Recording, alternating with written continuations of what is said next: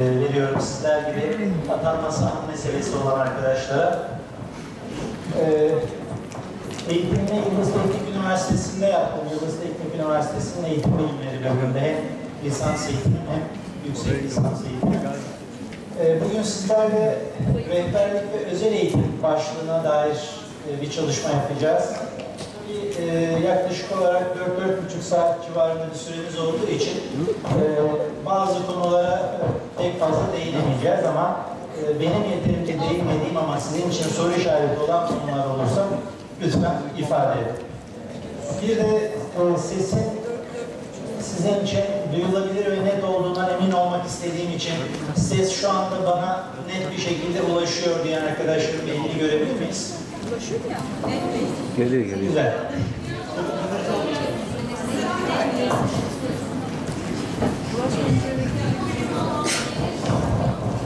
Buraya geldiğinde mi? Peki oradan uzak durayım o zaman. Tamam. Teşekkürler. Şimdi arkadaşlar, e, tabii ki rehberlikle ilişkili olarak e, esas kritik olan bir noktayı e, size anlatayım.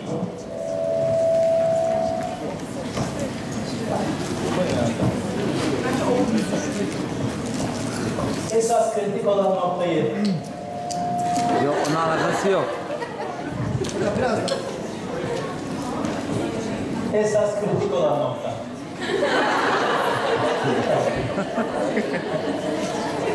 Arkadaşlar, rehberlikle ilgili olarak esas kritik olan nokta şu.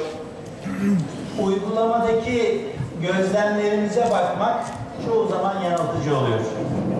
Hatta rehberlikte o kadar tuhaf bir durumla karşı karşıyayız ki birçok sınav sorusunda uygulamada olanın tersini yaptığımızda doğruyla karşılaşıyoruz. Onun için de gözlemlerinizi, uygulamadaki gerçekleri dikkate almak rehberlikte yanıltıcı olabiliyor. Bir kere e, buna e, dikkat etmeniz önemli ama biz şu ses sorunuyla galiba biraz uğraşacağız. Efendim? Ee, oradan mı kaynaklanıyor diyorsun? O zaman da bir mesafe sorunumuz oluyor ama deneyelim. Bir dene hocam. Evet. Evet. Harikulade. Ee, sorun tespiti yapabilmek müthiş bir şey. Ee, arkadaşıma teşekkür ederim. Ee, çalışmamızın sonunda e, bu süreklilik devam ederse bir alkış da rica edeceğim arkadaşlardan ama önce çözümümüzün sürekli olduğunu bir görelim. Teşekkürler. Şimdi arkadaşlar, e, rehberlikle ilgili olarak dikkat etmemiz gereken önemli konulardan biri e, konu dağılımı, soru konu dağılımı daha doğrusu. E, tabii şunu belirteyim, ÖSYM'nin bize resmi olarak açıkladığı bir soru konu dağılımı yok. Yani ben rehberlik ilkelerinden bir tane soracağım, e, rehberlik hizmetlerinden dört tane soracağım diye bir resmi açıklama yok. Resmi açıklama yaklaşık 11 tane rehberlik ve özel eğitim sorusu olacak şekilde. Bunun ne kadar olacağını peki ben nereden çıkarttım?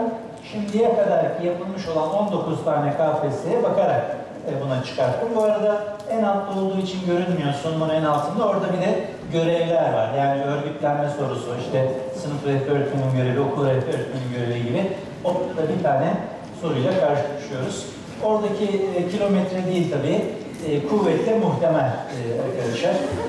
Yani e, sol taraftaki rakamlardan kuvvetle muhtemel belki sağ rakamlar e, karşımıza e, sınavda soru sayısı olarak çıkabilir. Şimdi e, biz tabii bunlara odaklanacağız ama şunu da belirteyim. Bunların dışında soru çıkamaz, mümkün değil gibi bir kesinliğimiz de yok. Onu hatırlatayım size. İlk olarak rehberlikle eğitim arasındaki ilişkiyi netleştirmemiz gerekiyor arkadaşlar. Geleneksel anlamda yani 1900'lerin başındaki eğitime baktığımızda iki tane temel yönünün olduğunu görüyoruz eğitimin. Geleneksel eğitimde biri yönetim süreci, biri de öğretim süreci var. Biliyorsunuz öğretim planlı bir biçimde bazı davranışları kazandırma süreci. Yönetim de bunun için eş güdümün sağlanması, koordinasyonun sağlanması süreci. Bizi ilgilendiren kısım bundan sonra başlıyor. Yani üçüncü bir ayak, sac ayağı devreye giriyor. Öğrenci kişilik hizmetleri. Bizim bugün konuşacağımız rehberlik de aslında bu öğrenci kişilik hizmetlerinden bir tanesidir. Peki bu öğrenci kişilik hizmetleri neler diye baktığımızda beş tane olduğunu görüyoruz bunların. Ee, Birincisine en son döneceğiz. Bu öğrenci kişilik hizmetlerinden biri sağlık hizmetleridir arkadaşlar. Yani okulda yapılan sağlık hizmetleri. Okullarımızda yapılan bildiğimiz sağlık hizmetleri olarak neler var diye şöyle baktığımızda ilk aklımıza ne geliyor? Aşı tabii en yaygın olan uygulamalarından biri aşılar. E, göz taramaları, diş taramaları bunlar yapılıyor. Bazen okula hemşire ya da doktor çağrılıp konferans salonunda e, şu an bizim yaptığımıza benzer bir anlayışla öğrencilere sağlık konusunda bilgiler verilebiliyor. Bunların hepsi sağlık hizmeti diye değerlendirilir. Önemli olan nokta burada okulda bir sağlık hizmetinin yapılıyor olması. Öğrenci kişilik hizmeti olarak sağlık hizmeti diyebilmemiz için. Bir diğeri sosyal yardım hizmeti. Burada da ana nokta arkadaşlar, görselden takip edelim daha sağlıklı olur. Buradaki ana nokta sosyal yardım hizmetlerinde parasal destek. Ekonomik destek yani. İşin ucunda bir ekonomik destek varsa sosyal yardım hizmeti olduğunu söyleyebiliriz. Tabii ki bu burs olabilir, kredi olabilir, e, yurt hizmeti, barınma hizmeti sağlık. E, ya da e, bazı üniversitelerde bir e, kampüsten diğerine ücretsiz e, otobüs seferleri yapıyor. Öğrenciler biniyorlar ücretsiz bir şekilde diğer kampüse gidiyorlar. Bu olabilir arkadaşlar. Hatta hatta bir üniversitede atıyorum Yıldız Teknik Üniversitesi'nde öğle yemeği giriyorsunuz orada öğle yemeği. Şu an ne kadar Yıldız Teknik'te ya da bir üniversite bilen var mı? Ne kadar öğle yemeği? 2 lira. Peki. Öğledik 2 lirayı, öğle yemeğimizi yedik. O zaman burada bir sağlık hizmeti gerçek, özür dilerim. Burada bir e, sosyal yardım hizmeti gerçekleştirildi. Biz burada öğle yemeği yediğimizde. Böyle düşünen arkadaşlarımı görebilir miyiz? Sosyal yardım hizmetidir bu. Yapmayın, parasını verdik, verdik, yedik yani. Burada bir sosyal yardım hizmeti yok diyen arkadaşlar. Evet. Umurumda değil. Neyse ki ona çok fazla ek atmadı, güzel.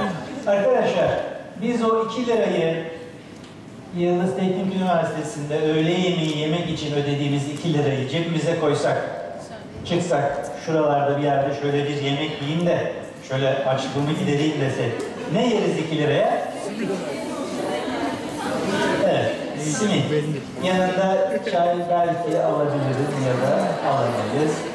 Ama beğenirsiniz, beğenmezsiniz. Üniversitede o 2 liraya iki çeşit efendim sıcak yemek, işte salata, e, efendim e, istediğiniz kadar ekmek, e, su, bunları alabiliyorsunuz. Burada bir ekonomik destek var mı sorusunun cevabı evet var arkadaşlar. Dolayısıyla illa e, hiç ücret ödemeden olması gerekmiyor bu sosyal yardıma. Önemli olan parasal bir destek sunmak. Bunu sunduysak sosyal yardım hizmeti yaptığımızı söyleyebiliriz. Ee, Bir diğer e, hizmet sosyal kültürel hizmetlerdir. Burada da anahtar kavramımız boş zaman değerlendirmek. Yani nasıl olabilir boş zaman değerlendirmek?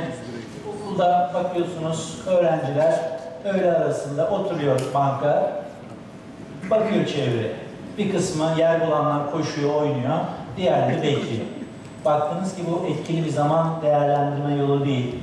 Ve okulda bir karar aldınız, bir satranç sınıfı oluşturdunuz. Öğrenci, öğrenciler öğle aralarında gidiyorlar o satranç sınıfında satranç oynuyorlar. O zaman e, sosyal ve kültürel hizmet gerçekleştirmiş olduk. Ya da öğrencileri aldık, e, işte oyuncak müzesine götürdük. İşte e, bir başka sosyal kültürel açıdan gelişecekleri bir ortama götürdük. Bu da aynı şekilde sosyal kültürel hizmetler örneği olur diyebiliriz.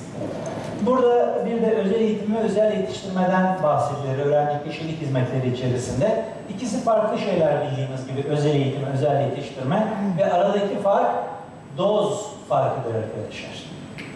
Özel eğitime en son kısımda değineceğiz ama şimdilik şunu hatırlatayım. Özel eğitim deyince aklımıza gelişim özellikleri açısından akranlarından anlamlı farklılık gösteren öğrencilere yönelik eğitim gelmeli.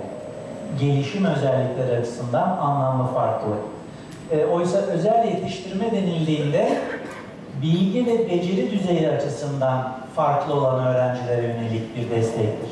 özel yetiştirme. Yani eğer bir otizm özelliği gösteren öğrencimiz varsa burada özel eğitim ihtiyacından bahsederiz.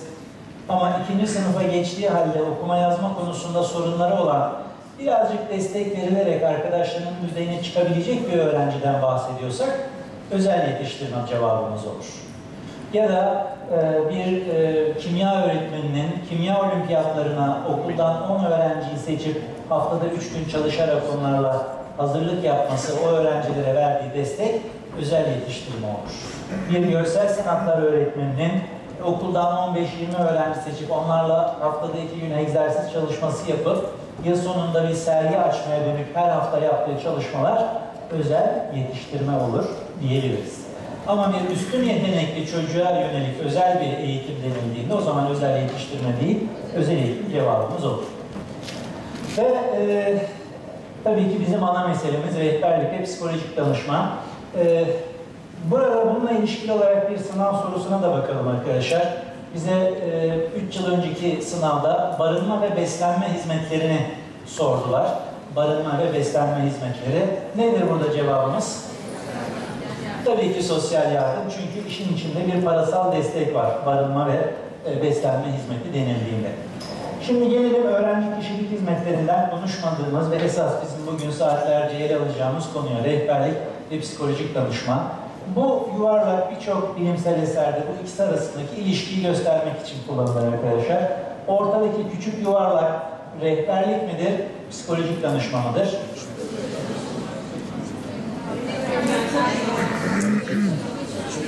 Ortadaki küçük yuvarlak psikolojik danışmadır diye düşünen varsa görebilir miyiz elini?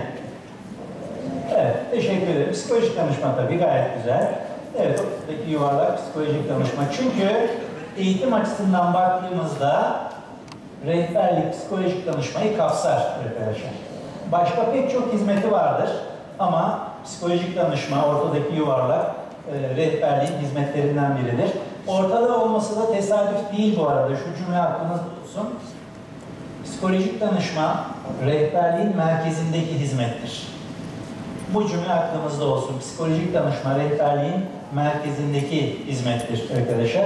Bir de psikolojik danışmayı sadece uzman olanların, psikologların psikolojik danışmanlarını yapabileceğini düşünen arkadaşlar oluyor.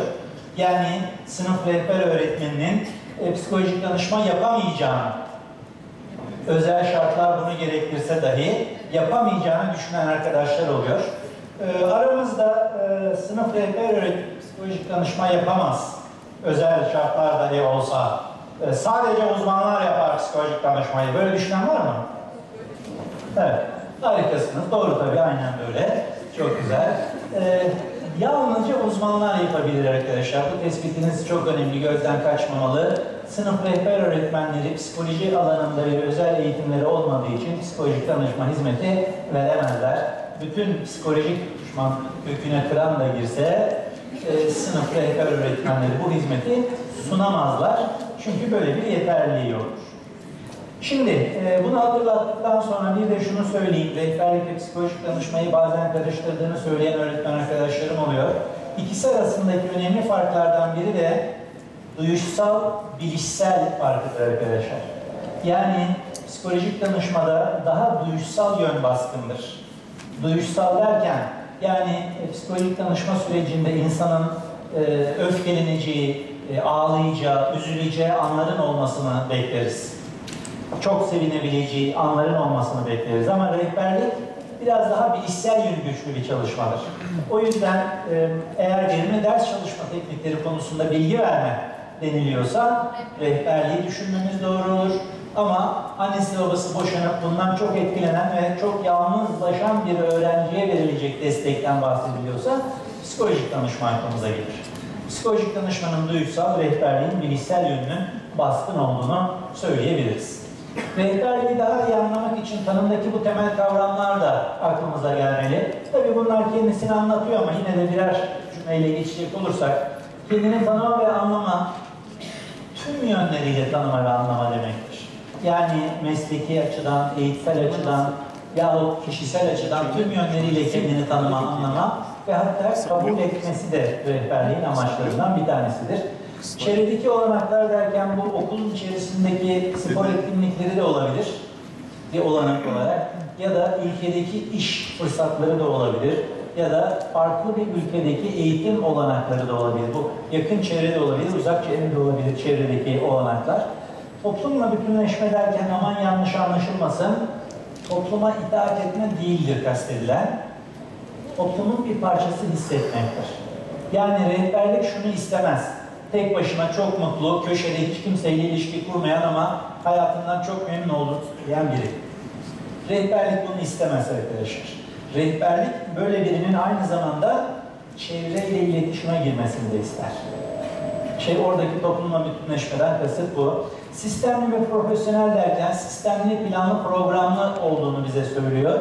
Ee, ki planlı, programlı ifadesi aynı zamanda rehberlik programını kim hazırlar sorusunu da beraberinde getirir. Okulun rehberlik programını kim hazırlar? Okul rehber öğretmeni.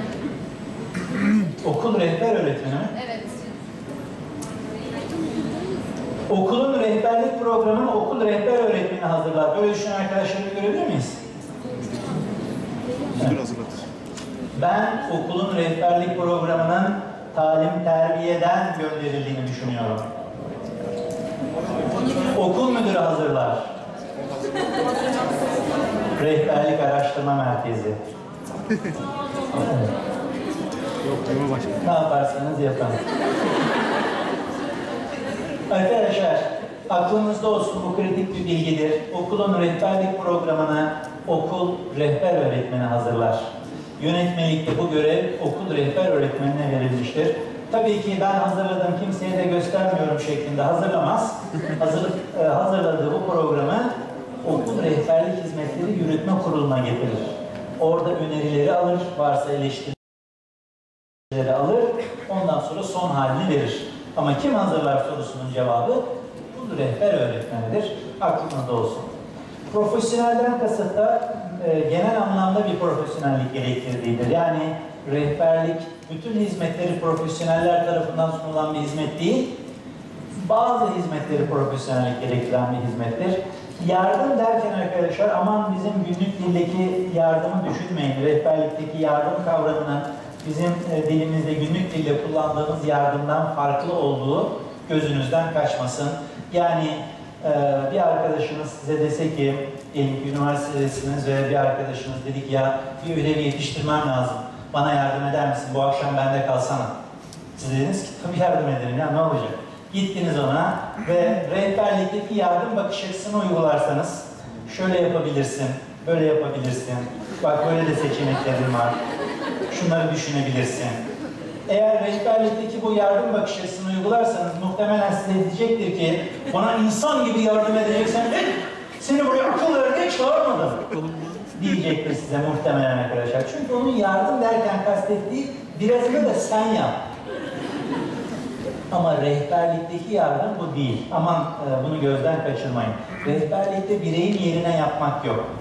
Rehberlikteki yardımla ilgili KPSS'de çok öğretici bir soru sorulmuştu. Denilmişti ki hangisi aşağıdaki sözlerden yardım bakış açısında rehberlikteki en iyi anlatır? Ve o ünlü söz cevap olarak verilmişti. Bireye balık vermek değil, balık tutmayı öğretmek. Yardım bakış açısı deyince rehberlikte aklımıza bu gelmeli. Onun yerine yapmak özelliğine aykırı olur rehberlikte. Bir diğer unsur süreç hep devam eder rehberlik. Yani e, hayat boyu devam eder. Tabii bazı arkadaşlarım ya nerede hayat boyu devam ediyor ben rehberlik okulda rehber öğretmeni bile görmedim. Mezun olduk. Hiç bizi ne arayan ne soran var. Kim nerede her zaman yapıyor rehberliği diye düşünen arkadaşlar olabilir. E, Böyle düşünen arkadaşlar şunu unutmasınlar. Demek ki size özel böyle bir durum var. Yoksa ülkemizin genelinde rehberlik hep yapılıyor arkadaşlar. Ee, size öyle denk gelmiş tesadüfen. Olabilir böyle talihsizlikler. Ama ülkemizin geneline bakıldığında hem e, bütün okullarda e, hem de okuldan mezun olduktan sonra mezunların takip edilmesi, izlenmesi şeklinde rehberlik hizmetleri hayat boyu devam ediyor diyebiliriz. En azından KPSS'de böyle işaretleyeceğimiz ne? Ve son olarak arkadaşlar kendini gerçekleştirme kavramı. Biliyorsunuz rehberliğin nihai amacıdır. Yani en son ulaşmak istediği amaç bireyin kendini gerçekleştirmesidir. Ee, bu arada merak ettiğim için e, önce aramızda e, bu soruyu bir cevaplayalım isterim. Aramızda e, kendini gerçekleştirmede başarılı olmuş arkadaşları görebilir miyiz? Yok hocam gelmedi. Yok mu? Hocam bugün yok, bugün gelmedi. Evet. Peki, gerçekleştirmede başarılı olmuş birini tanıyan var mı? Ben tanıyorum öyle birini. Güzel en azından Allah peki. Arkadaşlar e, bir arkadaşım önlerden bir arkadaşım söyledi size sesi gelmemiş olabilir dedi. Kendimizi gerçekleştirsek buradan ne çıkımız var? Tabii şunu söyleyeyim, kendini gerçekleştirmede başarılı olan bireyler de e, sınavlara girebilirler. Orada bir sıkıntı yok. Ama tabii yaş olarak e, kendini gerçekleştirme yaşına henüz gelmemiş olabilirsiniz. Çünkü Maslow'un söylediği şöyle bir cümle var. Der ki, ben 40 yaş, 40'lı yaşlarından önce kendini gerçekleştirmede başarılı olmuş hiç kimseye rastlamadım. Tabii e, mutlaka olamaz, mümkün değil gibi kesin konuşmamış ama 40'lı yaşlarından önce hiç rastlamadığını söylemiştir. Çünkü bu kendini gerçekleştirmenin hayat deneyimiyle de ilgisi var. Atandığınız okuldan sonra olacak demek ki sizde de o hayat deneyimleri. Arkadaşlar kendini gerçekleştirmede başarılı olmak e, buradaki tablodan da görülebileceği gibi pek ulaşılamayan bir sonuç. Hatta Maslow'a sorulmuştur, bu da ne kadarı insanların kendini gerçekleştirmede başarılı olmuş diye. E, tüm dünyada yaklaşık yüzde birden daha az demiştir. Niye böyle? Çünkü toplum engelliyor. Maslow'a ve diğer e, hümanist e, anlayışa sahip bilim insanlarına göre toplum bireyin kendini gerçekleştirmesini engelliyor. Yani içimizdeki potansiyelin açığa çıkmasını engelliyor. Dolayısıyla siz e, böyle bir sınavla karşı karşıya kalmamış olsaydınız belki şu anda bazılarınız öykü yazıyor olacaktı. Ya da e, resim yapıyor olacaktı. E, ya da e, bir enstrüman çalıp bir beste yapıyor olacaktı bazılarınız. O içimizdeki potansiyeli açığa çıkaracaktı. E, gerçi bu da kötü mü? Yok bu da çok güzel. Çok hoş bir salonda böyle bir araya gelip e, rehberlikle ilgili bilgilerimizi gözden geçirmek e, daha iyi hissettirmiyor mu bizi? O da hissettiriyor ayrı. O ayrı tabii de ya, öbürü de güzel olabilir tabii. E, kendini gerçekleştirmeyle ilişkili biliyorsunuz e, bilmemiz gereken önemli bir hiyerarşi var. Çoğu yıl bize soruluyor arkadaşlar. Kendini gerçekleştirmede başarılı olma e, ile ilişkili ya da hiyerarşinin diğer evreleriyle ilgili sorularla karşılaşabiliyoruz. Bu e, evreleri bir bütün olarak bu görselde görebiliyoruz ama e, her birine birer birer bakacağız. Neyi vurguluyor bu evreler gözden kaçmasın diye. Kötü yemek yediğiniz için bu görseli kullanmakta bir sakınca görmüyorum. Ee, arkadaşlar, fizyolojik ihtiyaçlar deyince aklınıza vücudumuzun ihtiyaçları gelmeli. Yani açlık, susuzluk, seks ihtiyacı, uyku ihtiyacı bunların hepsi fizyolojik ihtiyaçlar kapsamındadır. Bu ihtiyacımızı ilk önce karşılamaya yöneliyoruz Maslow'a göre. Bu ihtiyacımızı karşıladıktan sonra istikrar ihtiyacı ortaya çıkıyor. Yani güvenlik demiştir buna Maslow. Ee, güvenlik derken aklımıza istikrar sözcüğü gelmeli. Çünkü güvenlikten kasıt şudur. Ben şu anda karnımı doyurdum. Şu anda uykumu uyudum. Ama yarın da bunu yapabilecek miyim? Üç gün sonra, beş ay sonra, gelecek yıl. İşte o istikrarı sağlama ihtiyacıdır güvenlik. Onun için aslında şu an burada bulunmanızın çoğunuz için güvenlik ihtiyacınızla ilgili olduğunu söyleyebiliriz. Çünkü birçok arkadaşım öğretmen maaşına yakın bir maaş hatta bazıları daha fazlasını özel sektörde kazanabiliyor. Eğitimle ilgili işlerde ya da farklı işlerde kazanabilen arkadaşlar var. Ama buna rağmen kamuda e, çalışmak, kamuya atanmak için çaba gösteriyor birçok arkadaş. Neden? Çünkü kamuya atandığımızda her ayın 15'inde o yüklü miktardaki maaş hesaba yatacak. Ve o maaşın hesaba yattığını görmek huzur veriyor. Ve şunu biliyorsunuz atandığınızda, öğlene kadar her ayın 15'inde o maaş o hesaba yatacak. İşte bu insanı rahatlatıyor. İşte bu güvenlik ihtiyacıdır arkadaşlar. Birçok kişi işe girerken şunu sorar. Sigorta başladı değil mi? Yapıyorsunuz değil mi sigortayı? Niye bunu soruyor? Şunun için soruyor. İki ay sonra, üç ay sonra, beş ay sonra hastalandığında, bir doktora gitmesi gerektiğinde, çocuğunu doktora götürmesi gerektiğinde bunu yapabilecek mi? Bundan emin bak. İşte güvenlik ihtiyacı budur. Bir sonraki ihtiyaca geçmeden güvenlik ihtiyacı ile ilgili bize sorulmuş bir sınav sorusunu hatırlatayım size arkadaşlar. Buradaki e, soruyu hatırlayan arkadaşlar vardır, çözmüş arkadaşlar. Özellikle bilme, anlamaya yöneliyor gibi soru. Çünkü e, bazı arkadaşlarımız bu sınava giren şu ifadeyi yanıltmıştı. E, bu yüzden ilerleyen yaşına rağmen işiyle ilgili ekonomik gelişmeleri anlamaya, mesleki bilgisini artırmaya yönelmiştir. Oradaki o mesleki bilgisini artırma, ekonomik gelişmeleri anlama ifadesi bilme ve anlama ihtiyacına yöneltti bazı arkadaşlar ne yazık ki. Ama sorularda şuna bakmamız gerekiyor. Bizden esas istenen ne? Bizden esas istenen bu kişi niye bu bilgileri almaya yönelmiş? O da bir önceki cümlede yazıyor.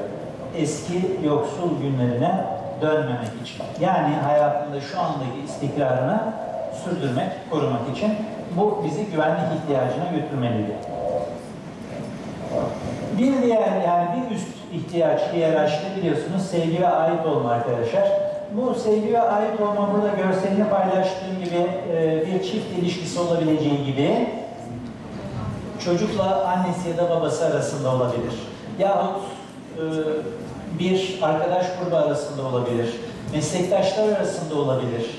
Burada hem bir güvene, e, sevgiye dayalı yakın ilişki kurma hem de bir bütünün parçası hissetme aklımıza geliyor. Yani e, burada e, kişilerin bir bütünün parçası hissetmesi halinde bu ihtiyacı karşıladığını söyleyebiliriz. Nasıl olabilir bu bir bütünün parçası hissetmek diyecek olursak? E, bir gün e, metroda herkes baktım sarı kırmızı formalar içerisinde anladım ki e, Galatasaray maçı bitmiş, maçtan dönüyorlar. Böyle 15-16 yaş civarı bir genç vardı. Yaklaştım dedim ki ne oldu Galatasaray maçı? Dedi ki 4 attık abi. 4 attık abi mi? Siz mi attınız ya 4'ü? Niye 4 attık diyor bu genç. Çünkü o bütünün parçası hissetmiş. Bazı kişiler şaşırıyorlar diyorlar ki ya bu insanlar nasıl maça gidiyor? Bunun işte şunu alacak parası yok. İşte evinin kirasını ödeyemiyor. Yine de 100 lira, 200 lira, 300 lira veriyor maça gidiyor. Anlayamıyorum bu insanları diyenler var. Çünkü bu kişi orada 10 bin kişi, 20 bin kişi aynı anda bağırırken o bütünün bir parçası hissediyor arkadaşlar. Yani bir ihtiyacını karşılıyor, rahatlıyor. Bu ihtiyacını karşılıyor işte. Bu hem bir başkasıyla sevgi ilişkisidir. Kardeşimizle, babamızla, annemizle, sevgilimizle, eşimizle, arkadaşımızla hem de bir bütünün parçası olmalıdır. İkisi de bu evreyi ifade eder. Bir sonraki hiyerarşide karşımıza çıkan ihtiyaç Maslow'da statü ihtiyacı arkadaşlar ki bunu saygı ihtiyacı diye de görebiliriz. Buradaki saygı hem kişinin kendine saygısı yani öz saygı hem de başkalarının bize saygı duyması ihtiyacıdır. Bunu başarılarımızın fark edilmesi ihtiyacı, onaylanma ihtiyacı gibi de düşünebilirsiniz arkadaşlar. Bu e, yüzücü genç kızı tanıyan arkadaşlar vardır belki. Paralimpik şampiyonalarda sürekli Avrupa Dünya e, şampiyonalarında çok iyi dereceler alıyor, şampiyon oluyor. Ve tabii ki e, pek çok alkışlayanı, destekleyeni var.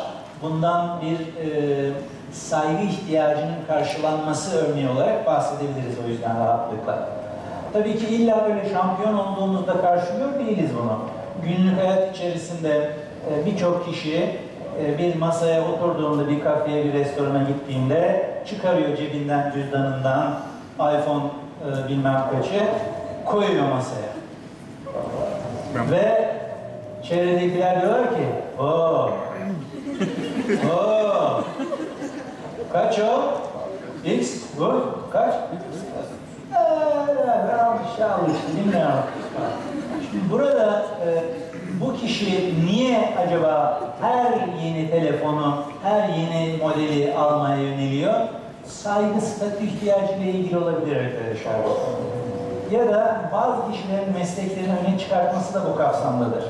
Bazı insanlarla tanışırken şöyle bir tabloyla karşılaşabiliyorsunuz. Merhaba ben Ahmet. O da diyor ki merhaba ben de Doktor Mehmet. Doktor Mehmet. Nasıl? Doktor ne buradaki? Herkes o zaman mesleğini mi söylesin tanışırken? Merhaba ben ayakkabı tamircisi Çetin. Bu ne şimdi buradaki Doktor Mehmet? Buradaki Doktor Mehmet şu arkadaşlar. Bak sen kimle tanışıyorsun bak. Doktor. Bu bir statü sağlıyor çünkü arkadaşlar. Birçok kişinin e, konuşması e, doktorlarla ilişkili olarak şöyledir. Belki sizin de yakınlarınızda vardır. Diyelim bir arkadaşınız size yeni tanıştığı kişiyi anlatıyor. E, dediler ki arkadaşlar şu nasıl biri, ne iş yapıyor, işte kaç yaşında e, biraz anlattırdılar. O dedi, doktor arkadaşlarının ilk tepkisi şu olabiliyor. Kaçırma. Kaçırma. Kaçırma. Niye? Doktor.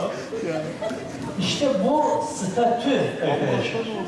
Bunun içinde başkalarının onayı, başkalarının alkışı, başarılarının fark edilmesi, başkalarının onu değerli görmesi statü ihtiyacı. Buna da ihtiyacımız var Maslow'a göre ve bu ihtiyaç karşılandıktan sonra bir üst ihtiyaç bilme anlama ihtiyacıdır. Buradaki bilme ve anlama ihtiyacı dünyayı bilmek, dünyayı anlamak ihtiyacıdır. Bu buradaki görselde kullandığım gibi kitaplar okuyarak da olabilir, insanları gözlemleyerek de olabilir. Ya da bazen e, okuyoruz gazetelerde işte e, 54 yaşındaki kişi çok merak ettiği, çok e, ilgisini çektiği için işte e, şu fakültede e, eğitim almaya başladı. Benim bir arkadaşım e, 37 yaşında e, bir e, mağazada müdür olarak çalışıyordu. Bıraktı işini. e, Ankara Üniversitesi antropolojide eğitim almaya başladı. Üniversite sınavına girip orayı kazandı. Ve 4 sene İstanbul'u bırakıp Ankara'ya gidip orada e, antropolojiyi e, geçmek gayesiyle değil, öğrenmek gayesiyle, merak ettiği için o dersleri çok zevkle aldığını söyledi e, yıllar içerisinde. İşte bu bilme ve anlama ihtiyacıdır arkadaşlar. Bir sonraki bir üst ihtiyaç estetik ihtiyacı. Bu da bize sanat ihtiyacını hatırlatmalı. Yani hayatımızda sanatı bir ihtiyaç olarak hissetmek. Bu sanatın herhangi bir dalı olabilir. Müzik olabilir, tiyatro olabilir, edebiyat olabilir, sanatın dalı yahut e, sinema olabilir her neyse. Bazen atanma sürecinde bazı öğretmen arkadaşlarla sohbet ederken şunları söyleyen arkadaşlar oluyor bana. Ya hocam kaç aydır tiyatroya gidemiyorum. Vallahi çok özledim. Bitsin şu sınav. Vallahi sezon açılınca hemen bir tiyatroya gideceğim hocam. Çok özledim. Vallahi her şeyi bıraktık. Ne kitap okuyabiliyoruz, ne tiyatro diyen arkadaşlar var. İşte bu hayatında bunu ihtiyaç olarak hissetmek estetik ihtiyacıdır arkadaşlar. Ve bu da karşılandıktan sonra e, kendini gerçekleştirme ihtiyacı karşımıza çıkıyor. Maslow dahi tanımlayamamıştır arkadaşlar kendini gerçekleştirmeyi ama kendini gerçekleştirmede başarılı olmuş kişilerin özelliklerini saymıştır Maslow. Şimdi onlardan birkaçını hatırlatacağım. Tabii bu liste çok uzun, 20'den fazla özellikten bahsetmiştir Maslow. Birkaçını öne çıkanları hatırlatacağım. Bir kere kendini ve başkalarını olduğu gibi kabul etmek meselesi. Şu anda e, yazılan ve 40 bin sattığı söylenen bir kitap herkesin dilinde arkadaşlar. Nasıl 40 bin satmış? Olamaz böyle bir şey. Falih Rıfkılar ne oldu? Peyami Safa kitap çıkartırken ne kadar zorlandı. Şimdi burada e, arkadaşlar herhangi bir kişinin kitap yazma hakkı vardır. Beğenirseniz beğenmezsiniz. E, o ayrı bir şeydir. Okursunuz okumazsınız. O da ayrı bir şeydir. Ama e, insanları olduğu gibi o kitabı satın alanları da satın almayanları da olduğu gibi kabul etmek bir kendini gerçekleştirmede başarılı olmuş kişi özelliğidir. Yani kendini gerçekleştirmede başarılı olmuş kişileri şöyle görmeyiz. İlla benim istediğim gibi olacaksın. Benim doğru gördüğüm şeyleri doğru göreceksin. Nasıl alırsın o kitabı ya? Nasıl alırsın o kitabı? Diye görmeyiz kendini gerçekleşmede başarılı olmuş kişiler arkadaşlar. Bir başka unsur mizah anlayışı. Buradaki mizah e, şakayı hayatının bir parçası olarak kullanmak. Tabii kastedilen şey başkalarının eksikliklerine ya da küfre dayalı şakalar değil. Yani bir bacağı diğerinden daha kısa olan bir kişiyle dalga geçmek anlamında bir mizah değil buradaki mizah. Mizahı hayatı yaşarken bir yol olarak kullanabilme, şakadan yararlanabilme anlamında mizah anlayışı gelişmiştir. Bir diğer unsur e, yaratıcılığı yani çeşitli konulara ilişkin farklı düşünme yönü gelişmiştir. E, herkes gibi aynı şekilde e, basma kalıp düşünmenin dışına çıkabilir. Kendini gerçekleştirmede başarılı olmuş birey. Ben buraya Türkçeleştirerek yazdım. Ancak Maslow bunu konformist değildir diye ifade eder bu son ifadeyi arkadaşlar. Konformist değildir. Çünkü konformist sözcüğünün anlamı topluma itaat etme eğilimi olan demektir. Konformist. Ve Maslow konformist değildir der kendini gerçekleştirmede başarılı olmuş bireyler için. O yüzden topluma itaat etme eğilimi olmayan, topluma uyum sağlamak için özel bir çaba göstermeyen e, bir kişi olduğunu da söyleyebiliriz. Kendini gerçekleştirmede başarılı olmuş kişinin. Yaşantılara açık, kendini olduğu gibi kabul edebilen, zayıf ve güçlü yanlarıyla demektir arkadaşlar, yaşantılara açık. Ee, bunu bir örnekle şöyle somutlaştırabiliriz.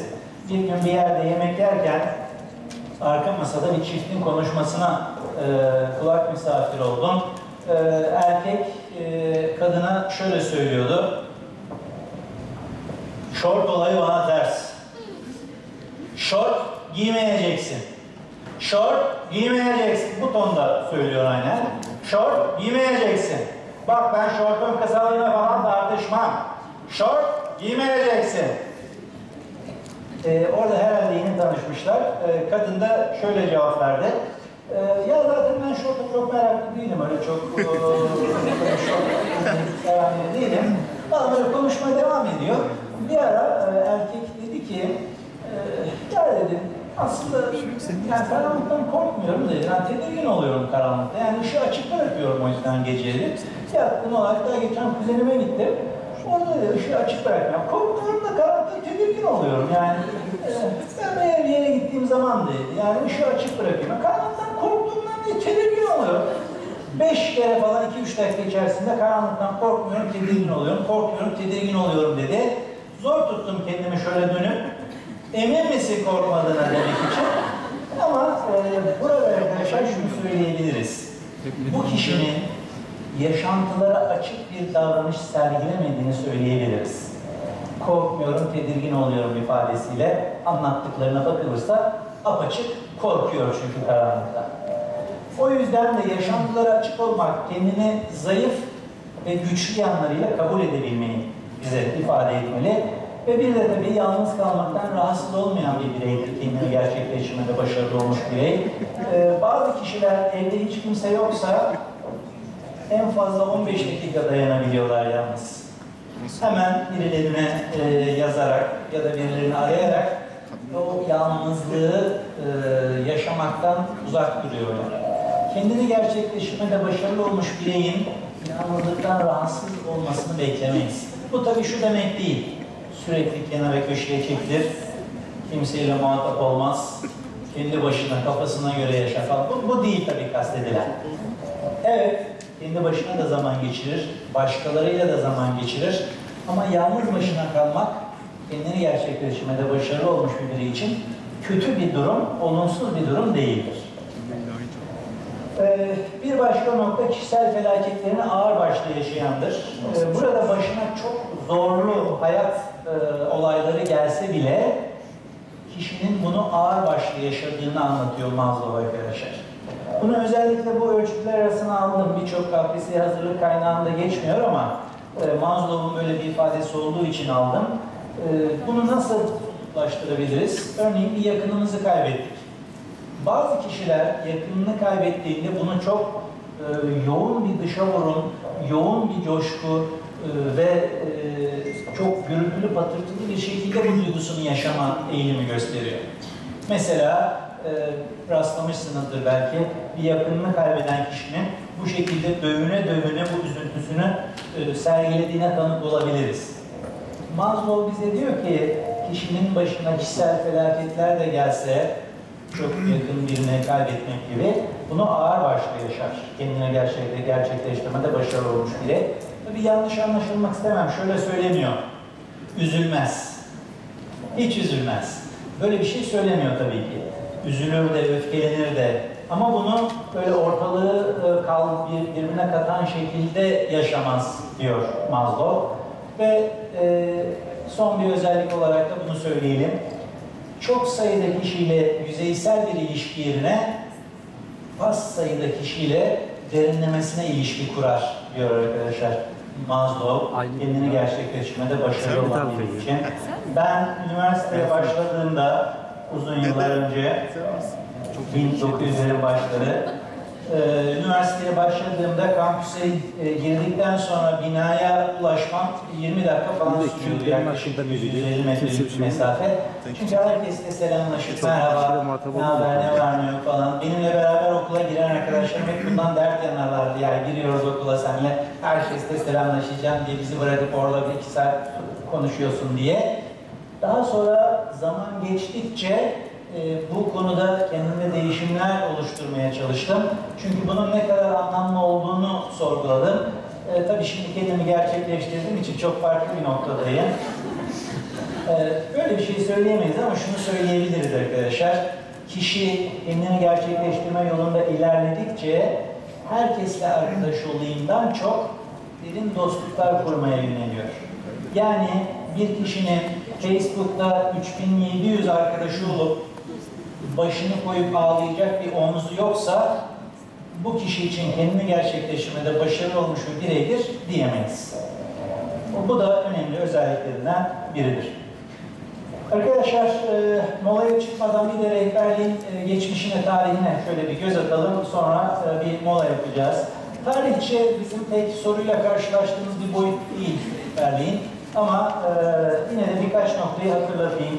Bir kere Frank Parsons isimli kişinin 1908 yılında Amerika Birleşik Devletleri'nde ilk mesleki rehberlik bürosunu kurdu. Gözümüzden kaçmasın. Tabii muhtemelen o kurmasaydı bu mesleki rehberlik bürosunu belki 3 ay sonra, belki 3 yıl sonra bir başkası kuracaktı. Çünkü rehberliği ortaya çıkaran bazı faktörler vardır. İşte bireysel farklılıklara daha çok saygı duyulması, mesleklere ilişkin mesleklere dair rehberlik ihtiyacı olması ya da endüstrileşmenin artması gibi birçok e, faktör vardır. E, ancak 1908'de e, Parsons'ın açtığı bu mesleki rehberlik bürosu rehberliğin başlangıcı kabul ediliyor. Birçok arkadaşımın hatırlayacağı gibi arkadaşlar. Bizim ülkemiz açısından bakıldığında e, ilk çalışmaların 1950'li yıllarda yapıldığını söyleyebiliriz. Ne gibi çalışmalar? Örneğin Gazi Üniversitesi'nde 1953-54'te ilk defa bir rehberlik dersinin olması gibi. E, Çünkü daha önce rehberlik dersi özel eğitim dersi içerisinde bir ünite, bir başlık sadece. Ya da 1950'lerin başında Amerika'ya yetişmesi için bazı gençleri gönderip Sonra bizim ülkemize tekrar onlar 8 ay, 1 yıl sonra döndükten sonra çeşitli seminerler vermesi gibi. Ya da 1955, 56, 57 o dönemde bugünkü rehberlik araştırma merkezinin ilk hali olan rehberlik merkezinin açılması gibi çeşitli adımlardan bahsedebiliriz. Bizim ülkemizde e, rehberliğin ortaya çıkış sürecine dair. Arkadaşlar, e, bir mola verdikten sonra bize çoğu yıl bir tane soru sorulan rehberlik ilkelerine eğileceğiz. E, 15 mi yapalım molayı, ne kadar yapalım? 10. Peki arkadaşlar, 10 dakika sonra devam ederiz.